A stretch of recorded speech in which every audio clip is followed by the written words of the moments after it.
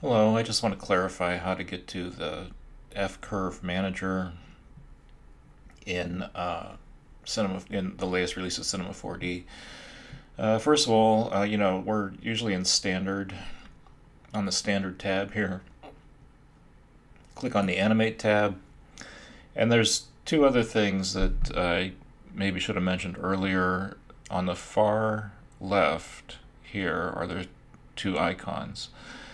Um, this one is now called Dope Sheet, which I don't know why. I'm not an animator, so I don't know really what that means. But it used to be called, uh, you know, the Keyframe Manager.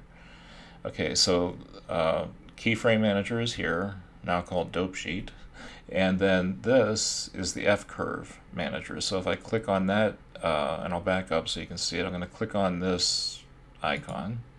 And now I am in the F-Curve manager. So like say if I click on um,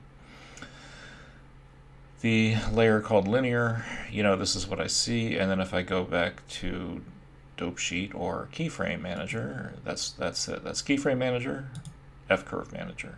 Okay.